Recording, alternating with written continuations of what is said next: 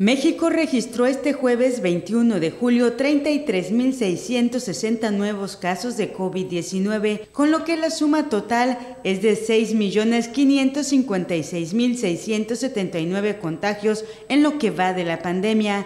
Además, la Secretaría de Salud reportó 115 fallecimientos a causa del coronavirus, con lo cual la cifra asciende a 326.879 decesos totales. El comunicado técnico diario especifica que en el país hay 27.894 casos activos con una tasa de incidencia de 175.1 por 100.000 habitantes. El reporte publicado señala que las 10 entidades con más casos activos son Ciudad de México, Colima, Querétaro, Baja California Sur, San Luis Potosí, Tabasco, Sinaloa, Coahuila, Tlaxcala y Nuevo León. Además, informó que en la distribución de los casos en las últimas cinco semanas, la mayor parte están presentes en los grupos de 18 a 29 años, seguidos del grupo de 30 a 39 y 40 a 49 años. La distribución por sexo en las defunciones confirmadas muestran un predominio del 62% en hombres, la media de edad en los decesos es de 64 años.